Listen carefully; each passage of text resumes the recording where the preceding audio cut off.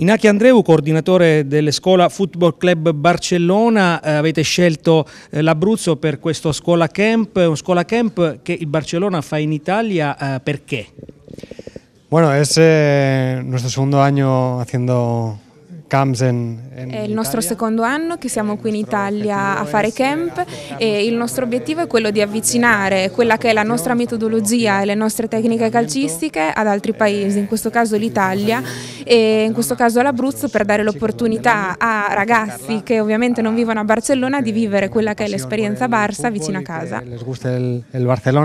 Eh, La scuola calcistica italiana è molto simile a quella spagnola del Barcellona, quindi voi cercate dei campioni, dei futuri campioni anche nel nostro paese.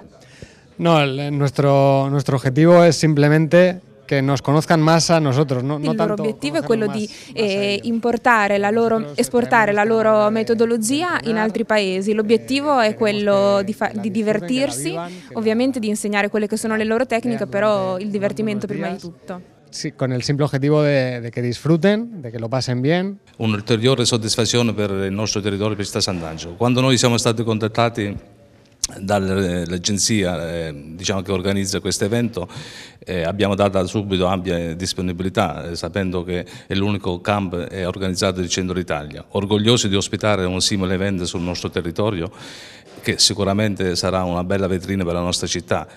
D'altronde la struttura di Poggio degli Ulivi è un'eccellenza del nostro territorio e ospitare simili eventi è sempre un onore, un piacere per noi. D'altronde eh, diciamo che anche per i ragazzi questa è un'ulteriore opportunità ed è una bellissima cosa anche per confrontarsi con, eh, ad alti livelli con un evento sportivo così.